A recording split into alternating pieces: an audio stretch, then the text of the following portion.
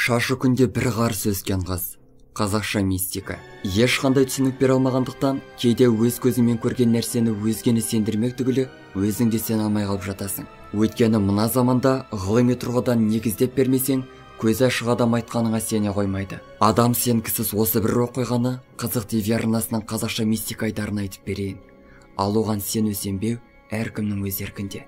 Ол кезде мен жетінші сыныпта оқитынмын. Шамама қарамай көршінің өзімнен бір жас үлкен қызына да қырындап қоятынмын. Жігіттіктің алғашқы белгісі болса керек. Сол көрші үйдің он баласы бар еді. Бес ұл бес қыз. Екі арасы ашық болатын. Ол кездері көрші тұрған үйлердің көбісі солай еді ғой. Сол үйдің үлкен қызы тұрмысқа шықты. Арадан екі жыл уақыт өтті. Көрші үйдегі апа қызының перзент сүйе алмай жүргенін айтып қамығып қалатын. Бір күні шай ішіп отырғанымызда сол апа үйге жылап келді. Айтуынша қызы көтеріліп ауыратын болыпты. Кеш қараңғысында күлтөбеге қоқыс төгуге барып сол жерден есінен танып құлап қалған. Екі күннен кейін ауруы байқала бастаған. Анам басу айтып сөзбен демеп жатқан еді. Мен де апаны қатты аяп кеттім. Ол кісі ешкімге қатты сөйлемейтін үнемі күліп тұратын жан еді.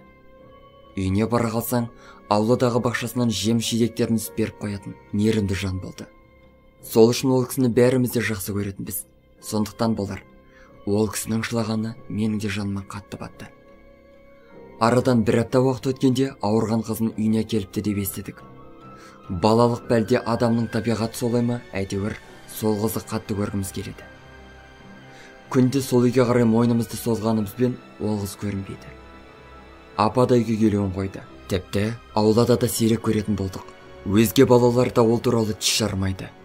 Не жағдай екенінен хабарсызбыз. Білгенше асықпыз. Арадан 10-15 күн өткенде көршінің ауырған қыз аулаға шықты. Кейін білгеніміздей 10 күн үйде қамап үш молда оқыған екен. Кішкене дұрыс болған соң аулаға шығартты бұрынғы жағдаймен салыстырғанда дұрыс деуге болатын шығар. Алайда мінез құлқы сәл дұрыс емес деу. Молдаға оқытқанға дейін ешкіммен сөйлеспей көшеге түсіп қашып шығатын болған екен. Молда оқыған соң онысын қойып кішкентай сіңілісімен балаша қуанып ойнайды. Тізеге түскен ұзын қара шашын жайып жібереді. Бұрында шаш ұзын болатын бірақ тізеге түскенін байқамаған екен. Бұған дейін ешкім де байқамаған. Сөйтсек ауырған соң шашы сағат санап өсе бастапты. Апаның айтуынша күнде шашының 15-20 сантиметрін қырқып отырады екен. Алғаш үйіне келгенде шашы жерге сүйретіліп келген көрінеді. Алғашқы ужасты кинодан емес көршінің қызынан көрдім. Көршінің науқастанған қызы кейде екі үйдің арасындағы жалғыз аяқ жолдың шетінде шашын жайып басын төмен салып отыратын. Көршінің үйінде шаруамыз болмаса да сол қызды жақынырақ көргіміз келіп әрі бері өте беретінбіз. Бір күні кеш қараңғы түсіп қалған кезде анам көршінің үйінен нан алып келуді тапсырды. Ойымда ештеңе жоқ.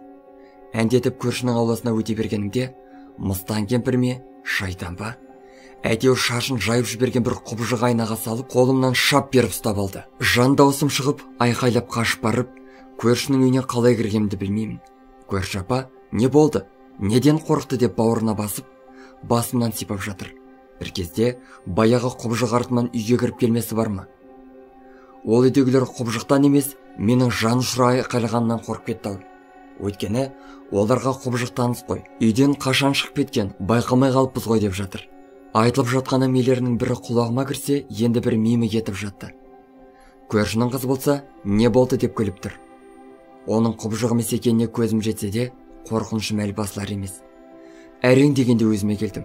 Абырой болғанда келген шаруамды ұмытып қалмаппын. Нанды алып үйге бет алдым. Үйге бару үшін бағанағы жерден қайта өту керек. Бірақ бата алар емеспін. Қорқып тұрмын деп көршінің үйіне кіруге намыс жібермейді. Бір кезде біздің үйдің ауласындағы шам жанып үйден біреу тысқа шықты. Сол сәтті пайдаланып бірден төртінші скоростқа бастым да үйге қарай жетіп бардым. Сол кездегі жылдамдықпен кез келген желаяқ спортшыны артта қалдыратын едім ау. Содан кейін бірнеше күн кеш болған соң есік алдына шықпайтын болып жүрдім. Қайнаған суға қол жуатын. Көршінің қызына қатысты тағы да бір таңғаларлық жағдайға куә болдым. Бір күні түс мезгілінде есік алдында тапшанда шай ішіп отырғанбыз. Үйінен шыққан көршінің қызы біздің шай ішіп отырғанымызды көріп дастархан басына келіп отырды. Анам дәмге кел деп шай ұсынды. Онда мен де қолымды жуайын деп ыстық су құйылы тұрған құманды қолына алды. Ондағы су ыстық деп айтқанға қарамастан қолына құйып жіберді. Қолы күйіп қалды деп бәріміздің жанымыз түршікті. Ол ештеңе болмағандай ыстық сумен қолын екі рет шайып орамалмен сүртіне бастады. Қолы қып қызыл болып кеткен. Бірақ күлдіреп күйіп қалған ізі байқамайды. Әңгімесін айтып шай ішуге кірісті. Бәріміздің көзіміз оның қолында. Арадан сәл уақыт өткенде қолының қызарғаны басылды. Бірақ күйік байқалмайды. Қолыңды көрейін деп айтуға ешкімнің дәті бармады. Бір шыны шай ішіп болған соң ол үйіне қарай кетіп қалды.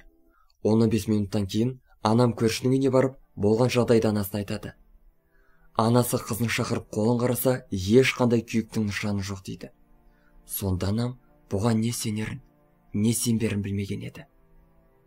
Молдалар екі ай бойы араға он күн салып оқып отырды. Үшінші айға қарағанда көршінің қызы науқасынан арылып шашының өсуі тоқтады. Ыстықты да сезетін болды. Үш айдан соң ауруханадан құлан тазарылып үйіне қайтарылды. Бұл күнде көршінің сол қызы екі ұл үш ұл өсіріп бірнеше немере сүйіп сүйікті әже болып отыр. Автор аралбай қошаманов оңтүстік қазақстан облысы. Оқыған эльдар аленов. Достар біздің каналға жазылып лайк басуды ұмытпаңыздар. Келесі шығарылымдар тек қана сіздер үшін.